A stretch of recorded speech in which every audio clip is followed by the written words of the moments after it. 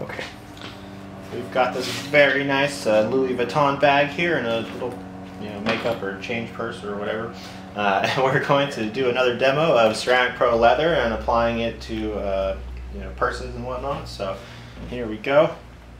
The purpose of this is to uh, preserve the leather, condition it, uh, give it UV protection, make it easy to clean if you do spill something on your nice leather purse, as these are insanely expensive, it is always good to protect your investment.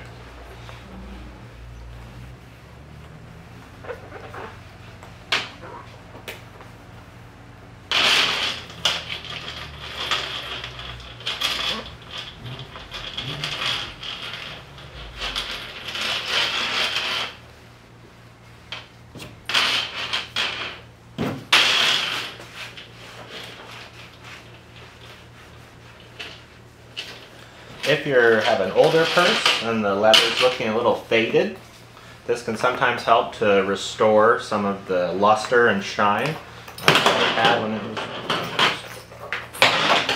that it had when it was new. Go ahead and just re-say that. Uh, so if you if you have an older purse, ceramic coating them uh, can sometimes help to bring back some of the luster and shine uh, from when it was brand new if the color's looking a little bit faded. And you'll notice that it'll once again feel soft and smooth. So not only can it be used to protect new purses and new leather items, but can also be used to restore old ones as well.